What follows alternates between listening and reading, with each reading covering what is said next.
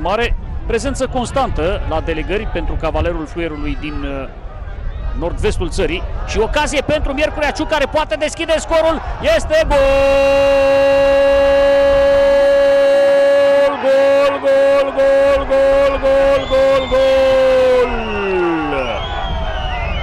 Contraatac și AFK Cixere, dar Miercurea Ciuc deschide scorul prieteni.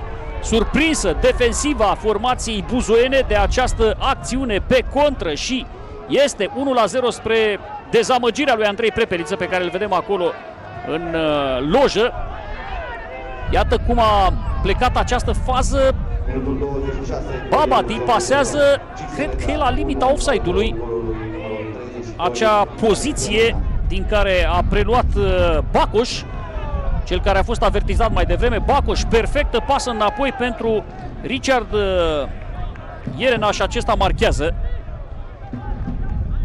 1 la 0.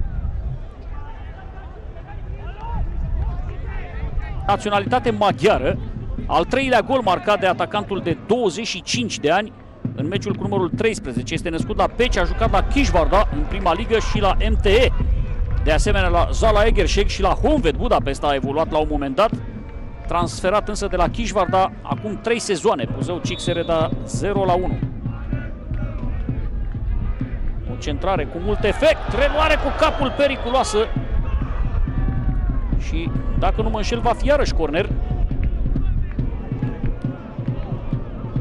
Revedem ce s-a întâmplat aici. Da, centrarea a fost reluată de Adi Chică Roșă, patiile între Gloria și Metalul. Astăzi joacă și Metalul, dar în deplasare, la Focșani. Iarăși o plecare bună acolo și mare șansă de 2 la 0 pentru uh, formația vizitatoare. Incredibil cu câtă ușurință. Uh, Metalul Buzău este în uh, poziție de lider. Iarăși o fază foarte, foarte grea. Extrem de grea această fază la care Ronai se desprinde din marcaj. Era un jucător.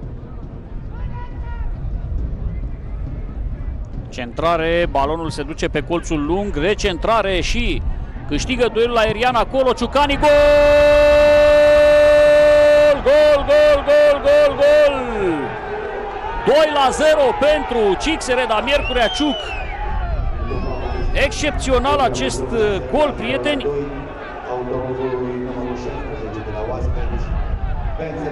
Bence Pinter reușește să marcheze pasa cu capul a venit de la Silard Vereș, care a întors la marginea careului și ce torpilă a trimis acolo Bence Pinter. A primit și cartonaș galben grab pentru că a protestat. 2 la 0.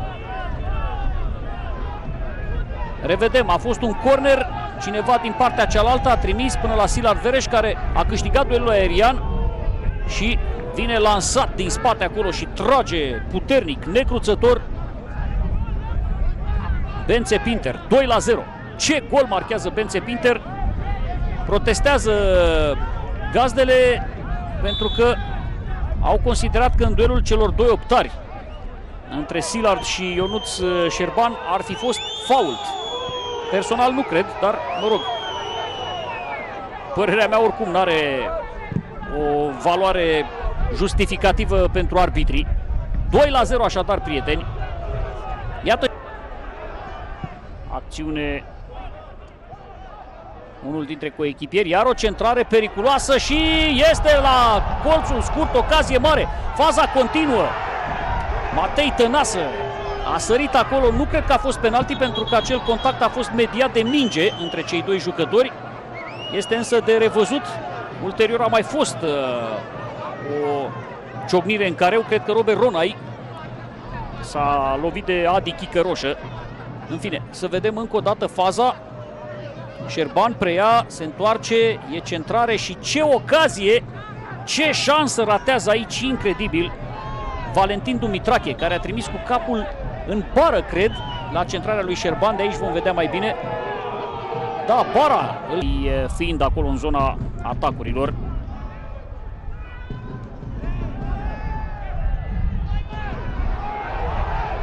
Ocazie mare acolo, intervenție magistrală a lui Silar Genghe. Excepțional, Silar Genghe în fața lui Angelov. Revedem faza. Moghianoș își pierde duelul aerian cu Dumitru. Ajunge mingea la Angelov după ce o atinsese și Chică Roșă. Pentru un contraatac. Așa este, nu s-a dat fault acolo, a recuperat uh, Gabor Macrai. Acesta intră în careu. Gabor Macrai, bară! Ce ocazie! Transversala îl împiedică pe Gabor Macrai să facă scor de neprezentare în această deplasare de la Buzău pentru Miercurea Ciuc. Frumoasă pătrunderea, frumos a întors acolo cu frână, duce către play-off respectiv cele două grupe de play-out. În play-off evident se va urmări promovarea și ce ocazie! Ce șansă are Gloria Buzău să marcheze din apropierea centrului terenului. Excepțională această tentativă. N-am văzut exact cine a fost cel care a șutat, dar oricum merită Dumitrache este cel care a avut această idee